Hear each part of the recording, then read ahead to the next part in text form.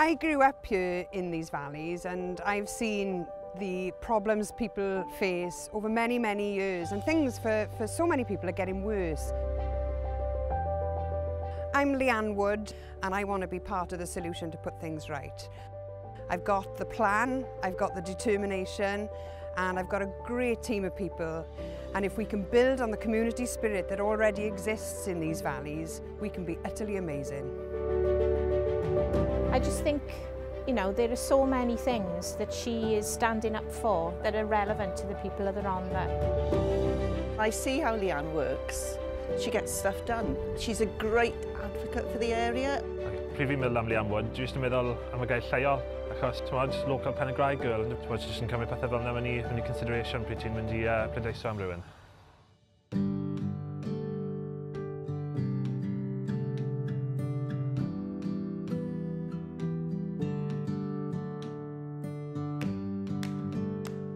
We're in Treorchy. This is Too Good to Waste, which has been the base of our food share scheme through COVID. We set up a food share scheme in the summer of 2019 and since then we've uh, put out more than 3,000 food parcels helping to support uh, local people. The chief aim of the scheme is to end food waste. So we distribute food that the supermarkets can't sell to people who want it on a no questions asked, no means tested basis. And we found that we've enabled uh, lots of food to uh, avoid going into the bin and into landfill. So that's uh, been a great scheme for everyone concerned.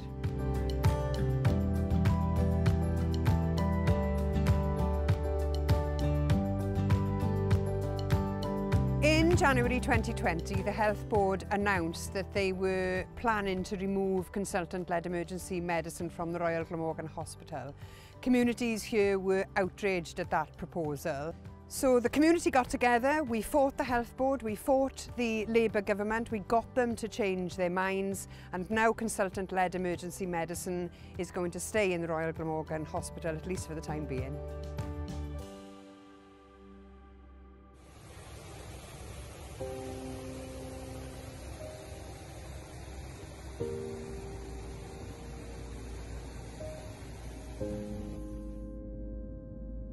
This is Lewis Street in Pentre, one of the worst streets uh, affected by the floods, although many properties in this area were affected. In fact, uh, almost 400 premises in all were uh, flooded in February 2020, and some of those premises were flooded a second and a third time.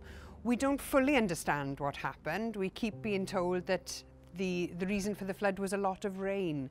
That's simply an unacceptable answer and that's why I am pushing for an independent inquiry so we can find out exactly what happened and we can be confident that we have the solutions in place to make sure that something like this doesn't happen again.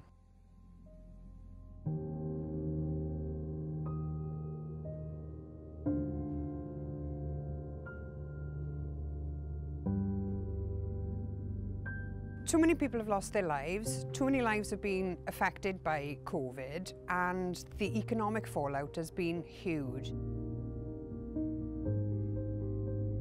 COVID has shone a light on already existing inequalities and it's made them even bigger than they were before. So in areas that already had high levels of poverty, COVID has made that situation even worse. And that's why having a plan to turn around the situation is essential. Things are not going to get better on their own.